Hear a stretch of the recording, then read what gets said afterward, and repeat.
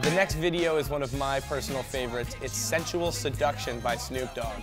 Um, it's a completely left field song and video for Snoop. This is a person who was charged with murder at one point in his life, and now he's wearing a frilly blouse and playing a guitar. Incredible.